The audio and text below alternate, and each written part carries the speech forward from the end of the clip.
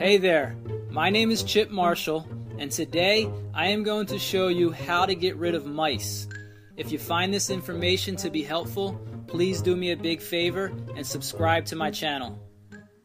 As soon as someone discovers that they have a mouse problem, they immediately turn to poisons or traps. Poison is dangerous, especially if you have pets or children.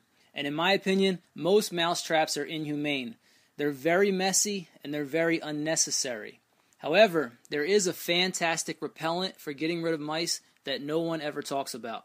I'm not sure if there's a lack of good information out there or people are just skeptical about trying something new.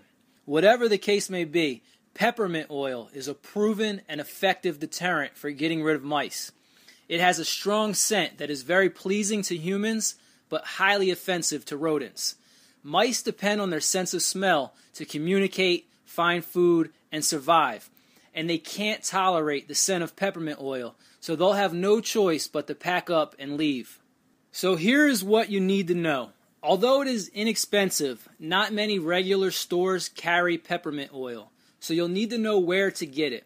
I just posted a great page on my blog about the best ways to get rid of mice.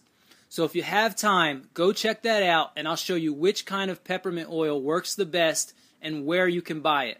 And don't worry, I'm very frugal, so I'll show you where to get the cheapest price.